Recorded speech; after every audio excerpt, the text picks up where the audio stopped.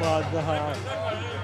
Dobro večer svima, ja bih samo molio bendove, jednu milenijsku fotku ćemo opaliti ovdje ispred bine, svi da se skupimo, nadam se da smo svi došli.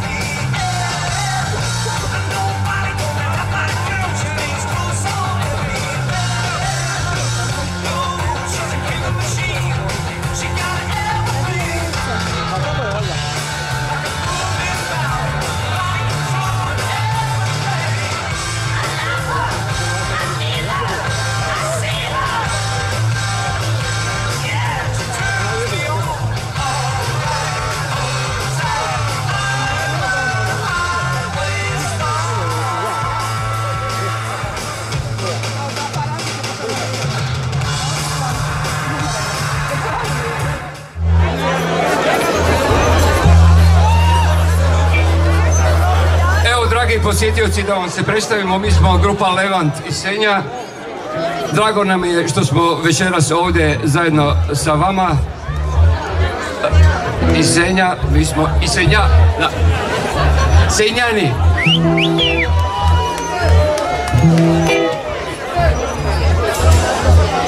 Da, da. Evo moga Jose, Josa. Htio bih se zahvaliti najprije organizatoru e, na ovoj e, zaista e, lijepoj večeri i druženju. I tako, uživajte. Evo.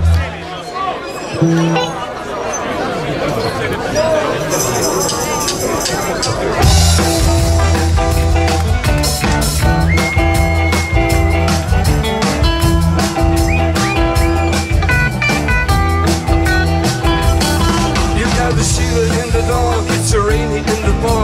Yeah.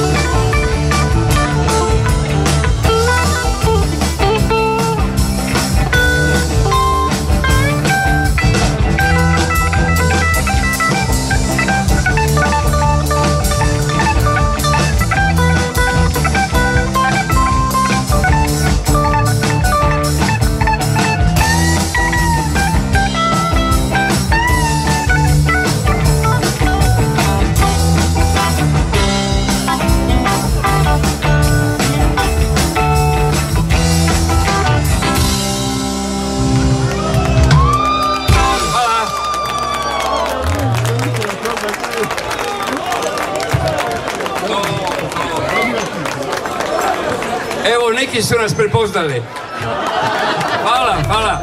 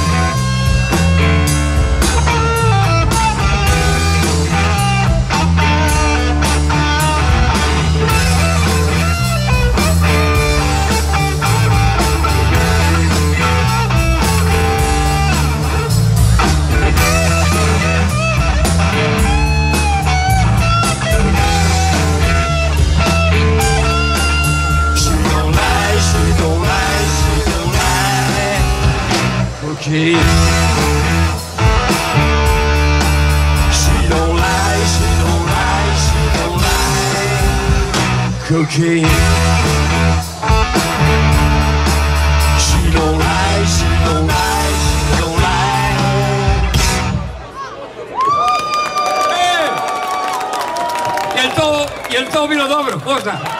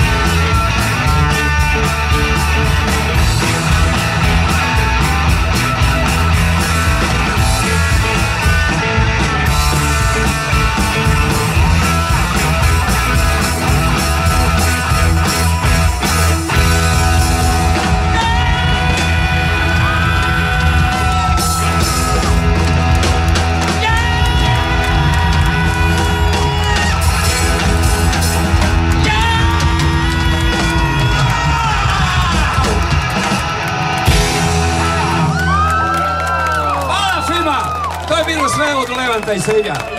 Vidimo se drugom prilikom. Laku noć.